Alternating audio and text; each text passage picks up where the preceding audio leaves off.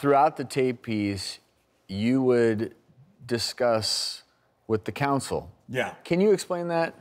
Yeah, so in shamanism, we have a council. We all have a council, you know, and it's our it's our ancestors, and there's these different beings that have been governed to support us in our life, but we haven't been open to them. So in shamanism, I'm a messenger. I'm not here to question what the council says. I just here to deliver the message. Even if you know people say uh, I'm uncomfortable with it, okay, be uncomfortable with it because I'm just here to deliver message. And at the at the core, I'm really just a messenger and a janitor. I'm cleaning up stuff and I'm delivering messages at the end of the day.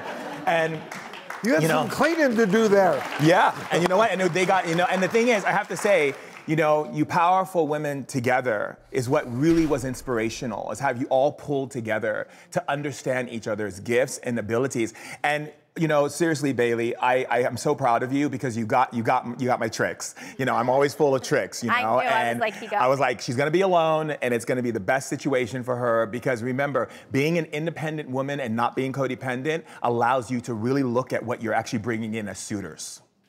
Thank you.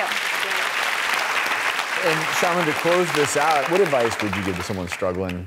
So, you know, the advice that I would give to everyone is this, you know, when it comes to relationships, and it's really important that a lot of times people think that when they go out with their girlfriends and they have conversations with their girlfriends, they're listening to all the sad stories, okay? It's like, I call it the bitter Betty party, right?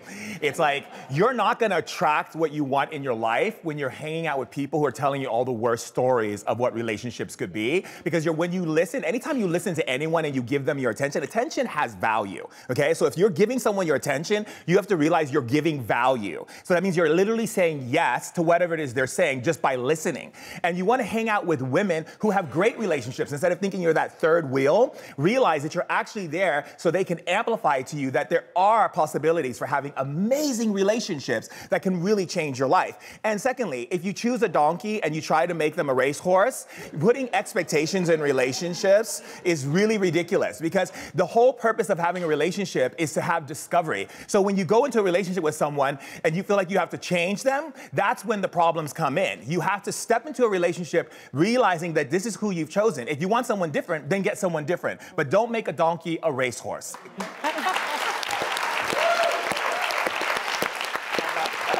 Well, Amber, Remedy, Bailey, I really appreciate you all being so open and mm-hmm. honest. And I do think everyone watching your experiences can learn something from it. We wish you nothing but the best in the future, whatever that is for you.